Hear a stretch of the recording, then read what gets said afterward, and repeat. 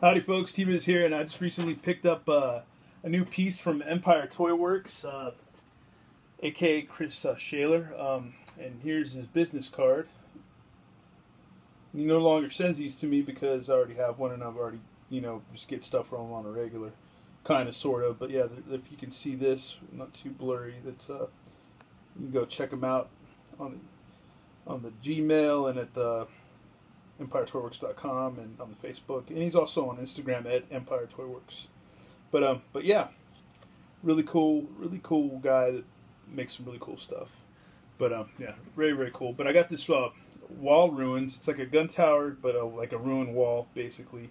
And um, I put up some figures alongside it just to show you the comparison of the the range of figures that you could put next to it, which are three, four, you know, three, four inch, three three inch, and uh, four inch figures basically you could use for like you know Microman, GI Joe, Star Wars, Acid Rain, you name it. You can pretty much throw it up on there and it works. It works. It's awesome. It's an awesome piece.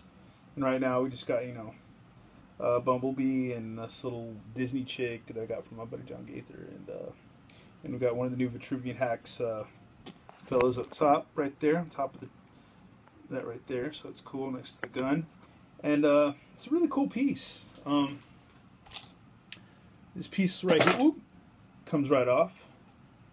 And you can use it as a separate gun, which is cool, like a little separate cannon, which is neat.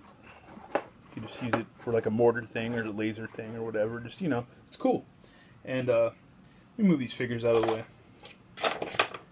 And then right here at the top, it's cool because he did this casting of this other piece, which is pretty cool. So it looks like you could, you know, uh, he has an example pick where he has like an acid rain figure, like you know, pretending like he's working on it and stuff. So you could do that, you know. And uh, just really cool detail he put into this this piece. It's really beautiful, really nice. You can see he did some dremeling in there. It's like kind of like bullet holes, cool cracks and stuff like that. And it's solid wood. And then here's this piece. I don't know where he got it from. If he got it from some Star Wars stuff or a model kit or something. But uh, it looks cool. It looks cool on there. And then here's the side he did this. This is some nice uh, wood sculpting right there.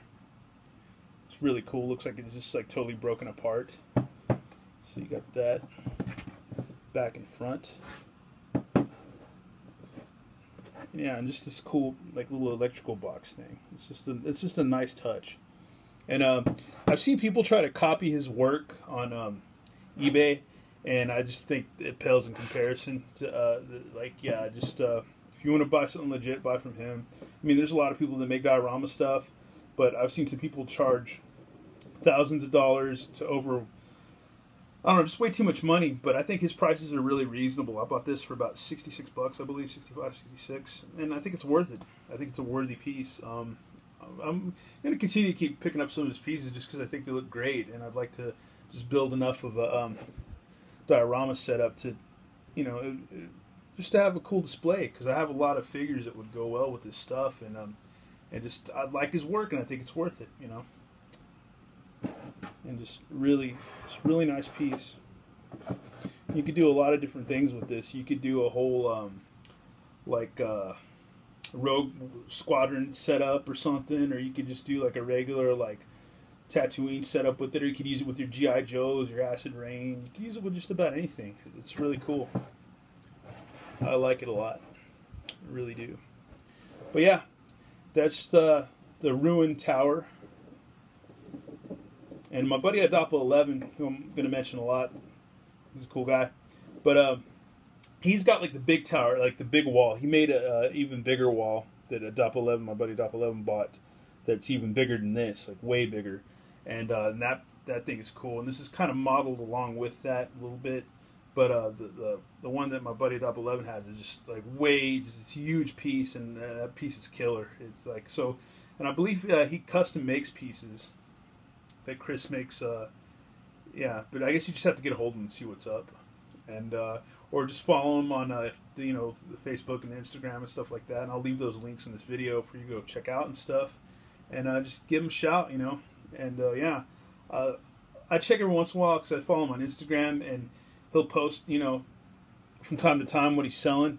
and you just when you see a good post, you go, okay, I'm gonna go check it out, and usually have a few things. He has some really cool accessories that are worthy, and you know, and yeah, so I'll, I'll quit babbling.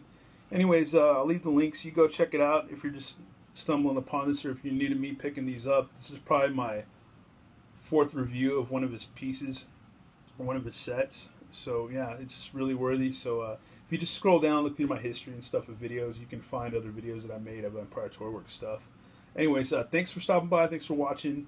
And yeah, uh, go check them out. And if you liked it, just holler at him and pick some of his pieces up because they're great. Anyways, thanks for watching and go play with your toys. All right, have a good one. Later.